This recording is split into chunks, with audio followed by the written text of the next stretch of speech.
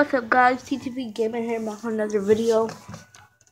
And today I'm going to be showing you my 90 routine when I come out of school. So let's get it. I'm a default, not really a real one.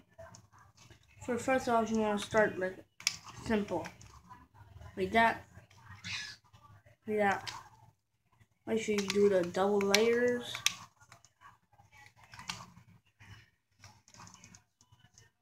My game is literally so glitchy today. Whoa, my game is literally so glitchy. Sorry for the bad camera. I'm gonna buy a new camera. My Canon literally fell in water. Um, I'll have a crappy camera. And my game is super glitchy. And this is PC. I just started PC yesterday because I bought my PC.